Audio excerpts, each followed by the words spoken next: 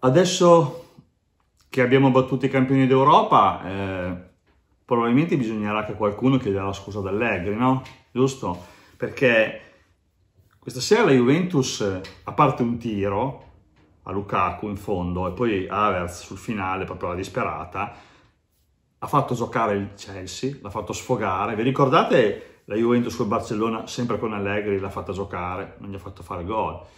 Noi abbiamo un giocatore che è immenso. Purtroppo eh, abbiamo sprecato due gol, secondo me, fatti, uno con Bernardeschi, ma lo perdono perché ha dato un assist meraviglioso per il gol di Chiesa, e nel primo tempo quella, quell'immondizia, d'ora in avanti lo chiamerò immondizia, non più giocatore, quell'immondizia che risponde al nome di Adrien Rabiot, giocatore in, inverecondo, un giocatore vergognoso, un giocatore inutile che non è servito a niente, ha fatto solo casini, ha solo perso palloni, non è stato capace di tenere alta la squadra. Meno male che Betancourt con Allegri gioca a calcio e, e ha giocato anche bene. Comunque, insomma, dai, la Juventus eh, va rivista, va rivista, non, non, eravamo troppo severi, io ero troppo severo e molti di noi erano troppo severi. Eh, il calcio d'agosto non va guardato, c'era andato tutto storto, eh, il portiere faceva delle papere, eh, mancavano giocatori fondamentali. Poi si è visto, si è visto, quando è andato in forma Chiesa la Juventus ha svoltato. Eh, Bernardeschi sta giocando bene quest'anno ragazzi, non c'è niente da fare, inutile, non è un grande giocatore però sta giocando bene. Sandro sta giocando bene, Betancourt sta giocando bene. Non credo che sia un caso, no? Non credo che sia un caso che stiano giocando bene.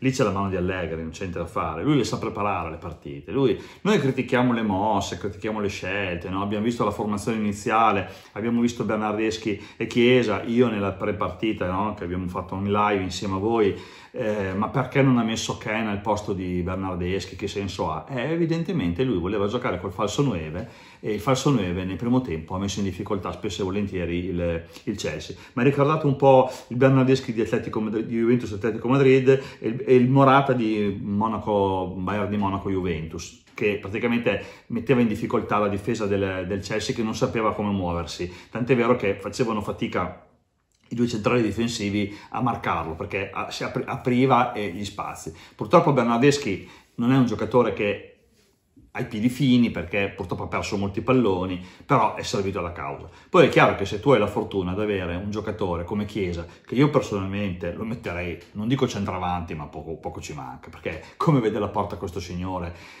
vede la porta, fa degli strappi pazzeschi. C'è stata un'azione in cui lui era dietro di un metro al giocatore, giocatore, ha lanciato la palla in avanti, l'ha raggiunto, superato ed è andato in porta. Cioè una roba, una roba, una roba spettacolare. Chiesa è veramente un giocatore spettacolare. Penso che sia il più forte giocatore italiano degli ultimi anni, in assoluto. Non c'è Zagnolo che tenga, non c'è, proprio, è il giocatore italiano più forte in assoluto e fortunatamente ce l'abbiamo noi.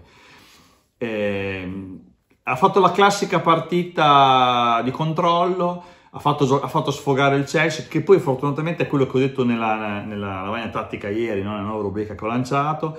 Allegri fa così, lui è, un, è uno, uno, scacchista, lui studia le partite, non c'è niente da fare. Molti dicono che eh, Allegri non fa tattica nel campo, cioè con i giocatori, ma la tattica lui la fa nella preparazione della partita, perché di fatto il Chelsea, campione d'Europa, Chelsea, campione d'Europa, che tutti davano per stravincente a Torino, a parte il sottoscritto. Io per scaramanzia nella pre-live ho detto 1-1, non è assolutamente, ma io eh, nella live che ho fatto l'altro ieri, dove c'era ospite il mio amico Nico, eh, il mio amico Roberto, ho detto che ero, ero, positivo. Stamattina nel Good Morning Juventus vi dissi che mi ero alzato bene ed ero contento perché secondo me questa Juventus ci avrebbe fatto godere. Signori, io ho goduto, io ho goduto perché battere il Chelsea, essere primi a 6 punti a punteggio pieno. Adesso tu basta che non fai cazzate a San Pietroburgo perché abbiamo due partite a, a San Pietroburgo e poi a Torino con lo Zenit. Ti basta fare 4 punti, non c'è bisogno di farne 6. Certo, se ne fai 6 tanto meglio. E dopo ti puoi permettere addirittura di andare a giocare uh, uh, nel campo del Chelsea all'ultima giornata perché poi avremo il Malmo in casa.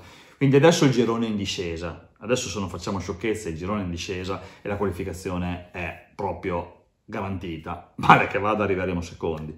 Per cui gran bella Juve e parlo di di un insieme di cose quando dico gran bella Juve, non mi riferisco al bel gioco, perché il bel gioco non serve a un tubo, perché il tiki-taka sterile che ha fatto il Chelsea a cosa ha portato? Ha portato una sconfitta e a casa in Inghilterra. Lo spauracchio Lukaku eh, non, ha, non, ha, non, ha, colpito, Delict e Bonucci sono stati meravigliosi, eh, quindi non si è sentita la mancanza di Chiellini, subito anche lì un po' di paura, però bisogna avere fiducia di Delict perché è un giocatore incredibile Locatelli ha fatto il compitino, stasera è stato, è stato più un, conteni, un, contenimento che non in costruzione di gioco. Comunque, insomma, promossa la Juventus, a parte qualche giocatore che poi vedrete nelle pagelle, eh, non voglio facili trionfalismi, potrei essere qua a fare gesti, eh, a urlare, a esultare, no, no, godo dentro, godo dentro, sto godendo, sappiate lo sto godendo, perché io adoro la Champions League, queste sono le partite che mi danno adrenalina, che mi danno carica, adesso non so se mi addormenterò prima delle tre di notte, ovviamente, ma tanto devo fare dei video, quindi. E veramente mi è piaciuta, questa Champions League mi sta veramente piacendo. La prima partita abbiamo vinto a Malmo, la seconda partita abbiamo vinto in casa con il Chelsea, adesso non vedo l'ora di andare a giocare il 20 di ottobre. Eh, a San Pietroburgo. Peccato, peccato, nota di chiusura, mi sembra anche giusto visto il mio mestiere, visto che faccio cameraman e cineasta da 20, quasi tra 40 anni, eh, Amazon, se avete bisogno di uno che vi insegna come si tarano le telecamere, vengo. Avete fatto vedere tutto il primo tempo buio, avete sbagliato il bilanciamento del bianco, nel secondo tempo l'avete avete tarato troppo chiaro, poi vi siete accorti che era troppo chiaro e l'avete riportato sull'oscuro, cioè andate a studiare da Sky, da Dazone, almeno loro le telecamere le sanno puntare. Non si è mai piantato perché io ho una buona connessione, ma si vedeva da schifo, si vedeva veramente da schifo, ok? Benissimo. Grande Juve, veramente grande Juve, bravo Max, bravo Max. Questa sera prendi un voto alto perché il, il, la Champions League per me vale due volte la, il campionato, se non tre, e quindi i voti vengono esponenzialmente alzati.